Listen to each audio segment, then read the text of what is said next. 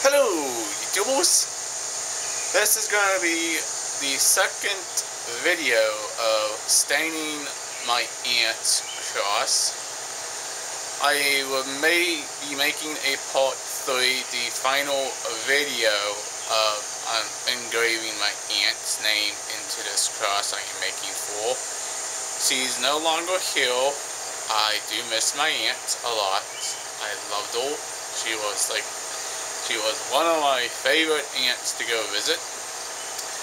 But I also, in part one, I'm going to update you guys on some of my photos. And also, in this video, I'm also going to show you a cross I made for Lynn when she also passed away, and I will show you that right now. And I'm going to also update you on the types of stains I use to make my crosses and, and stuff like that, guys. I will turn the camera around and show you guys what I've been doing for uh, yesterday. I, I gotta get this done. It's gonna probably rain, rain and stuff, guys. And if I don't get this done, because I let this sit 24 hours of drying time. Normally it takes 4 to 6 hours if you're brushing it on. But another the staining with the polyfill is not completely perfect like you do with Owen stains. Like does the regular, like the regular stain you would normally use, guys.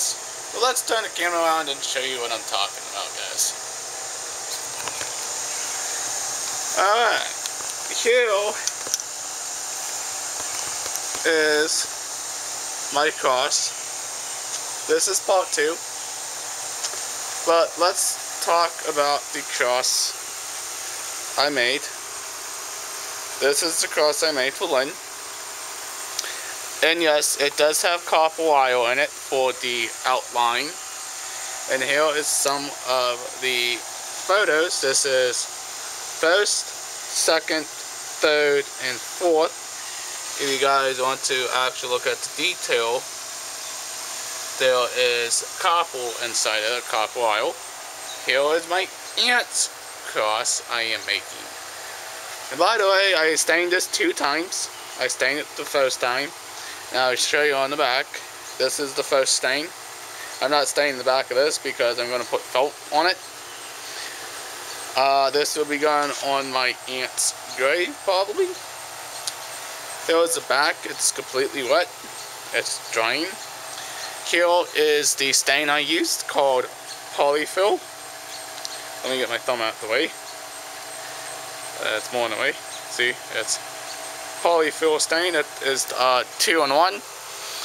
And what does that mean? Means it's actual a two in one stain. Means it has the it has a stain, then it has a polyester coating inside of it. And here is just the standard regular stain. This is just the regular stain, not polyfill and of course my glove to keep stain off my hand. And what I opened it I also got my screwdriver. And also I sanded it as well as sand, some sand some cheapo sandpaper. You can buy any type of sandpaper if you want. And here's a couple more of my brushes the sponge brushes, these are now done, I can't reuse them. The uh, acrylic brushes. But I'm going to let this dry completely overnight, again like I did before. But it's going to rain tonight, and I have to bring it in to actually let this completely cool and, and dry. And if you're wondering where my screws, here's my screws, the standard Phillips screws to go into the bottom of the cross. And like I said it will be a hanging one or it'll be a floor one this is like I said it's a project I never got done.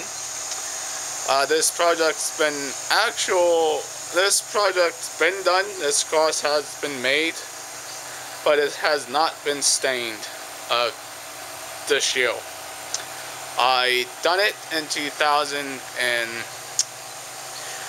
originally this was gonna go my my pap but I have also one for Len I also have one for my aunt and I also have one for grandma and also pap as well.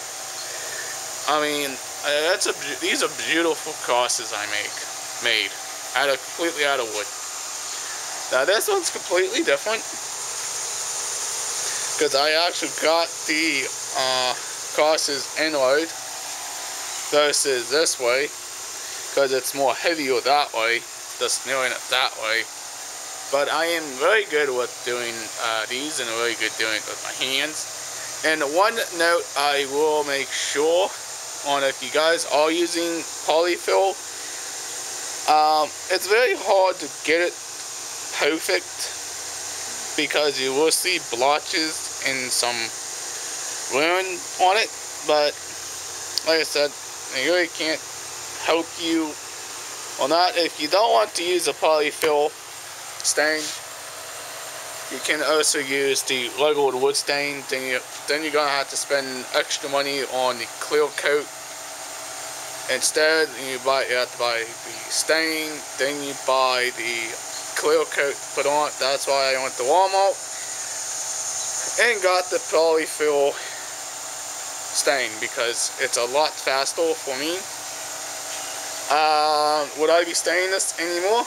No, this is will be the last stain. I only stain this two times because one because the more the more time guys, the more time you stain it, guys, um, the more the more the wood's gonna look darker and it's gonna look more uglier and I can tell you that right now with darker stain now of course you got lighter stains and you got also lighter woods now this was a light wood that was a dark style wood over there you can see how this one actually came out beautiful with all the grains and you can see here is all my photos. These are the four photos I done. I should have done a picture photo of this one being made for you guys, but to show you on how well I did this, they're very great. Now I done this for Lynn in 2006, but the year says 2005. That's the year she died, by the way. Uh, I actually did it in 2006. But, like I said, these are very good crosses I made. But, I'm going to try again with the noisy conditioner and the noisy locusts and crap we got out here and stuff. But, on the bottom of this, I am not staining it, guys. So you guys, why I keep flipping it from that side to this side. Because I'm not going to stain this, because after I put the felt on it, nobody ain't going to notice that at all, no. But I really don't I really don't want to put this anywhere outdoors, because it's not going to be protected by the elements for oil and stuff like that. That's why most people just buy some cheap stuff and them together, but I take my time on doing these guys. I mean, these are not, I mean, not the greatest um, in the water staining with the polyfill, but just try your best and if who's out there knows more about stains, maybe you guys could help me on how to stain my wood better with the polyfill. But I got news for you, I can actual stain better tell you what, with the Owen stain. And after this is all done drying, guys, I will engrave it, then make a video. I will, I will not make the video of graving it and showing you guys how to do that. I will actually do it when I am done like I did with this because it's just a lot easier for me because I don't have I do have a tripod and I don't want to have to keep pointing my camera at the uh, stuff I am doing with my hands because it's kind of hard to do uh, with uh, cameras and stuff like that. But she did turn out nice, honestly, guys. I mean, I'm not saying she is a perfect, perfect cross and a perfect stain, but she came out pretty good. I have to say that. But this will be going to one of my cousins. I don't know which cousin I'm going to give it to. Or if it's actually going to go on my aunt's grave itself. But, like I said, I mean, we also got on stuff I do and stuff I, I know I have to take care of my uh, uh, uh, lawn. But like I said, I mean, the more videos I do for you guys, uh, the more I'm trying to get um, better at doing the videos. But don't challenge me on anything, guys. I'm not that great of editing and stuff like that, guys. But I do these for you guys. If you want, I can also make you these. If you have an aunt or any relatives that have passed on, I can make you some of these and send them to you guys. If you, if that's if you want. If not, uh, that's fine with me too. I can just upload more videos of making these. All you need is really, you just need some wood. I don't really need concrete to actually make a perfect stand or a perfect cross, know? Oh yes, by the way, she's completely warped because she was up in my act all the time, but... Oh, what's this big brown thing you see? Oh, that's cardboard on the top of this white table. Now, I'll let you know one secret. If you get the stain on you, you're gonna have to use uh, lick, uh, liquid thinner, uh, like stain thinner. Got to go buy some stain thinner to get the stain off you, um, and also off the, uh, and also off the table if you accidentally get it on you, or on the table itself.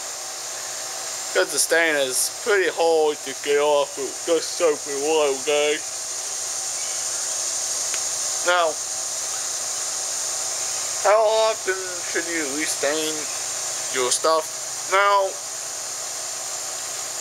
it pretends if you have your stain completely outside. You know, if you leave it outside, you know, and it's been weathered so much. See, and God news for you. This is, and I got news for you guys. This is uh, these type of stuff is not really designed to go outside because the more stuff, the more stained stuff you have outside, the more maintenance you're gonna have to really do on it. You know, it's not like you can take the fence over there and take it out of the ground and all oh, completely stain it. You actually have to stain it where it's at, the same with the post over here. The more stain, the more maintenance you guys got. But like I said, here, this is like I said, part two of this video, guys. Let me turn the camera around. But why do I like doing these crosses and stuff, guys?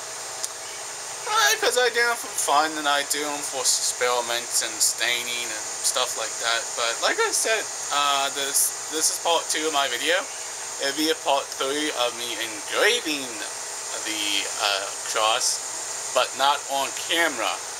I'll be doing it off camera because I'm more relaxed and more comfortable with doing stuff off camera versus being on camera.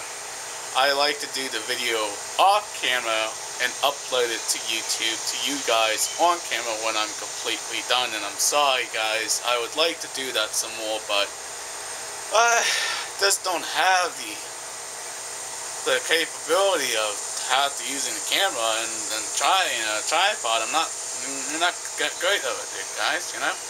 But back to the cross and everything. I love making them, guys. If you guys want me to make you something for your relatives or your family, just let me know. Uh, look me up on YouTube, Chris uh, 9067. That's my YouTube channel. Search me up there. And also, I would say good. I would say, peace. Love you guys on YouTube. All right, this is part two of ending video today and making a new one again for you guys tomorrow. Alright guys, I will talk to you guys later. Peace!